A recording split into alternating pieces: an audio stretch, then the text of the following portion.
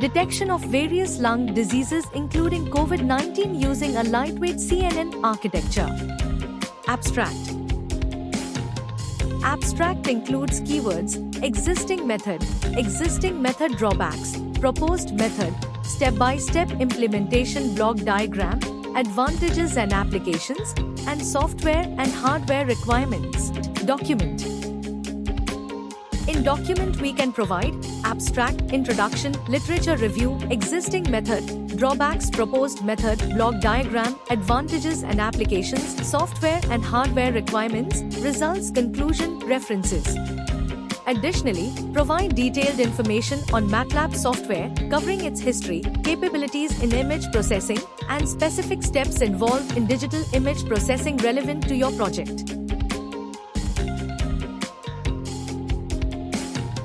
Detection of various lung diseases including COVID-19 using a lightweight CNN architecture include the following steps. Abstract detailing keywords, existing method, drawbacks, proposed method, implementation block diagram, advantages, applications, results, conclusion, software and hardware requirements, literature review, existing method, proposed method, block, advantages and applications, software and hardware requirements.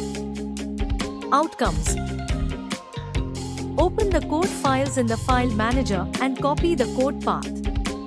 Next, open MATLAB 2020 software, paste the copied path, click on the main.m file, and run the code.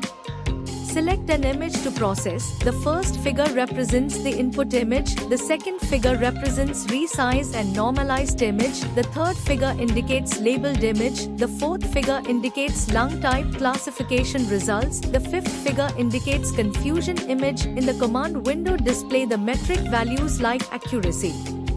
Thank you for watching. For more details contact 9030 333